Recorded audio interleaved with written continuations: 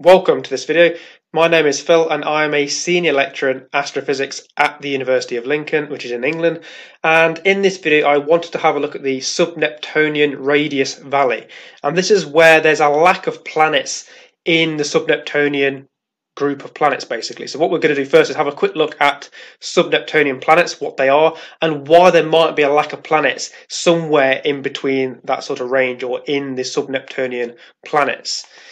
So there's lots of different sorts of planets that we've discovered so far, lots of different categories, types. Hot Jupiters, they're the big ones close to stars. They're hot because they're close to their star. They're Jupiters because they're big. You've got cold Jupiters, cold gas giants. You've got ocean worlds, ice giants, a bit like Neptune, things like that. Rocky planets, which are terrestrial planets. Then you've got lava worlds, which are you know, rocky planets very close to their star, and their surfaces are basically just magma oceans or lava, essentially. Now, the ones we're interested in for this video sit approximately here on that sort of plot. These are sub-Neptunian planets.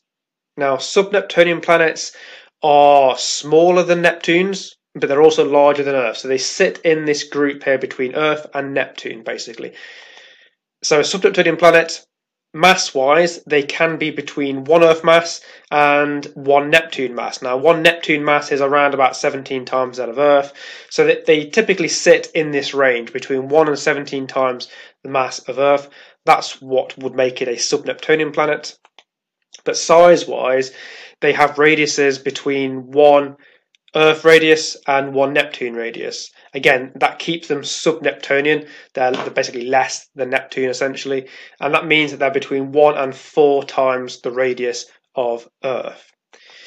Now, they can be hot and they can be cold. There's no distinction really between where they are on their star. It's just down to their size, really.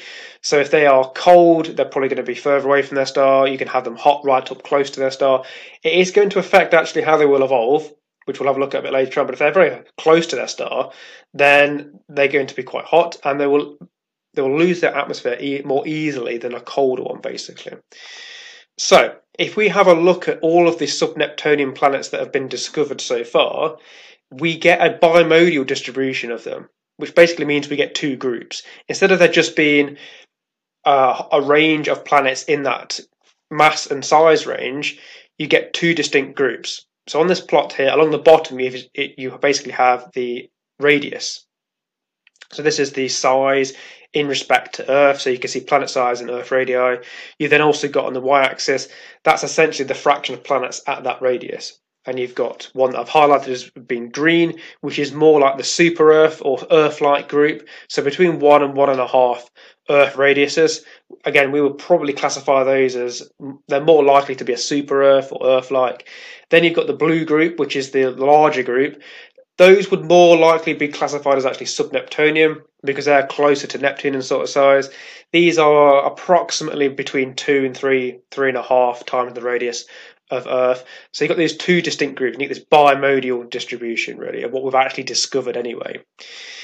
And there's a very clear deficit of planets around about one and a half times Earth's radius, which is called the the radius valley, basically. Because if you look at it, you've got kind of a, a, dip in the distribution there. So there's a lack of planets there, which was a bit of a surprise because you'd expect it to be reasonably smooth through there until you started to, to discover them and find that actually there's a sudden kind of drop at that particular radius. Now, why might that be? Well, it could be down to an evolutionary phase. So it could be that the larger group actually is evolving into the smaller group. And where the valley is, that central bit where there's a lack of planets, it doesn't spend a lot of time there. So when we actually look for planets in space, you've only got a short period of time to discover those ones in that group there. So we're going to naturally detect less of those than in the other two groups where there's likely going to be spending a bit more time, there's going to be more of them there. So what's happening to then make one evolve into the other? While subneptunians have lower mass than gas giants, that's true for both groups, but for the larger group, they're going to have quite significant atmospheres. They do, they do have a rocky core, but they are, their gravity cannot hold on to their atmosphere in the same manner that a gas giant would. So a gas giant has a lot greater mass. Its gravitational force is able to hold on to that larger atmosphere um, basically just better, really. These sub-Neptunian planets have lower mass, so they have quite extended large atmospheres, but they just don't have that gravitational force to hold on to it. So what happens is the atmosphere leaks out into space over time, and it kind of leaves the planet. So the planet or the atmosphere is lost, it gets smaller, it then becomes this other group. So they actually evolve into super Earths or more Earth like planets basically over time. So you end up with a where you get a sub-Neptunian planet, and billions of years later, you will likely get a super Earth instead. Now, the rocky core, which are assumed to be in sub-Neptunian planets, remains as it was. It just loses its outer atmosphere, which then makes it shrink down. So this is what we think is basically happening, or why we're getting a transition from one to the other, and what causes that radius valley, basically. And that process is then thought to give rise to these two distinct planet types, and there's a lack of planets in the middle because again, that it's only going to be doing that for uh, some period of time. So to capture that in the process is going to be relatively rare. So you're then naturally going to detect the two groups and not the transition, the bit where they're transitioning. It's just going to be rarer. Basically, it's, it's probably a observational bias as well. Um, so you get these two distinct planet planetary groups. So thank you for watching. And if you enjoy, then check out some of the other videos.